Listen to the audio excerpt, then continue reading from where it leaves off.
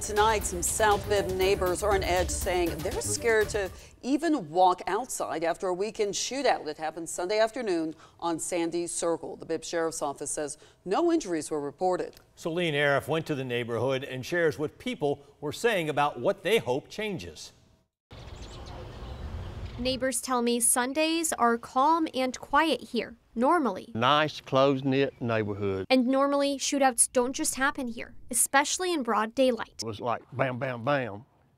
Then right after that, it was a steady flow of, you know, sound like an automatic weapon. Dick Hurd says a car drove by a young man and woman walking together. The woman started firing and the car returned fire. Up the street, there were kids playing in the yard guy right up here just got through walking his dogs 10 seconds before. Neighbors say they found almost 20 shell casings. And thankfully, with all those bullets shot, the Bibb County Sheriff's Office says no injuries were reported, but one of them did strike this house up in the attic, and the owner tells me her great grandbaby was asleep downstairs. My neighbor, which was going in the opposite direction in her car, she was right there at head, head level going back the other way when the lady pulled the gun and started shooting. All she had to do was spray in her direction and she would have been dead. To preserve the shell casings and evidence from the crime scene, Chris Barfield says neighbors blocked the street with their own cars until deputies arrived. In the past, neighbors asked for speed cushions and extra patrols to no avail. They know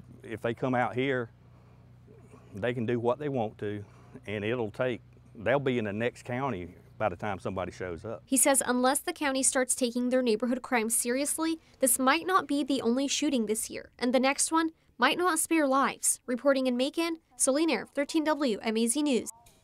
The sheriff's office says they are investigating. So far, they have not reported any arrests in the case.